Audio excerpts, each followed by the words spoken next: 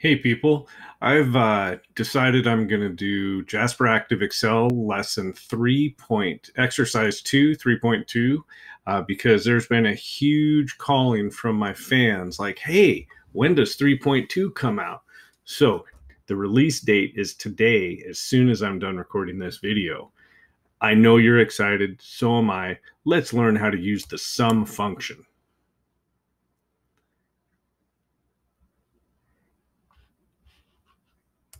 All right. So it begins with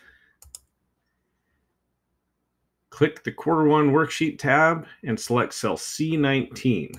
So make sure you switch to the quarter one worksheet tab, C19 right here. And on the home tab in the editing group, you're going to find, find this fun little Greek symbol. It's called AutoSum. And click the AutoSum button.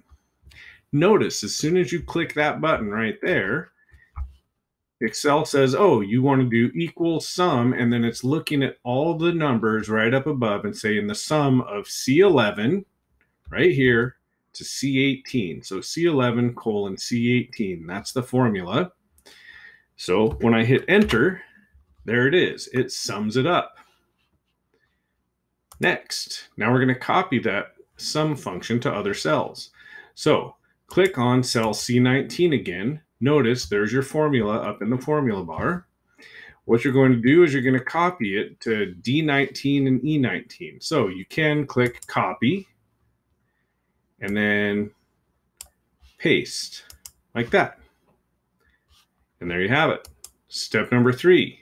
Now we're going to insert a and copy a sum function. So select cell F11 I'm going to hit the escape key because notice I still have the dancing ants over here. So escape key, select cell F11.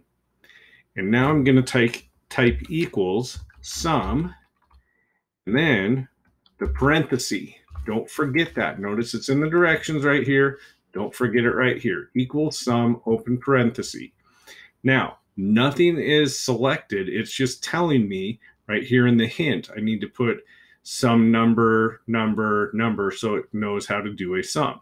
So I'm going to click on C11 and drag over to E11.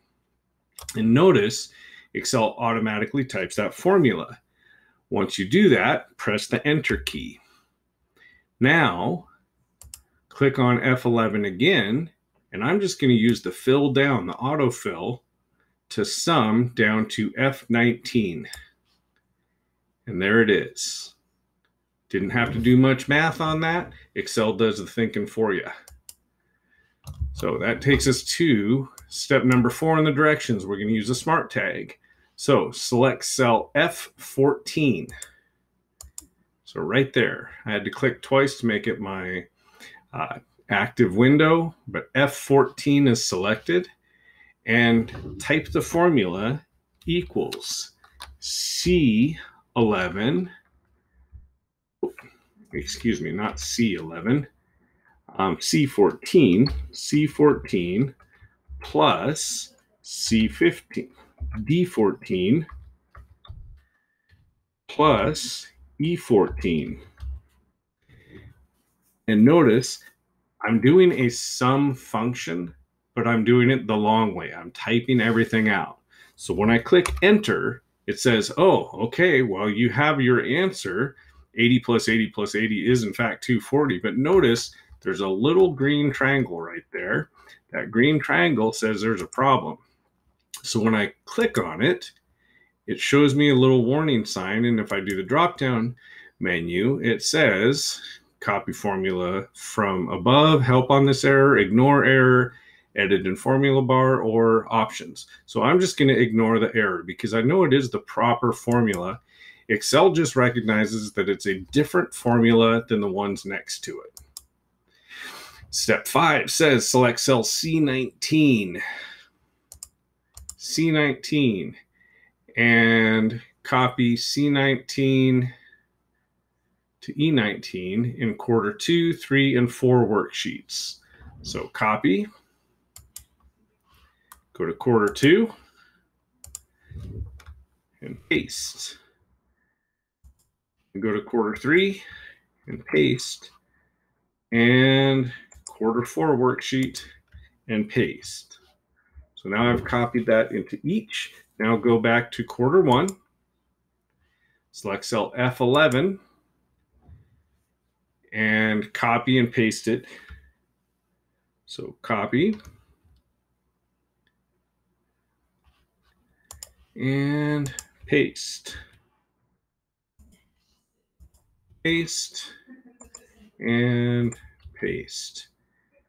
So I will autofill down and autofill over on each of the four quarters now to make sure that that data is completed.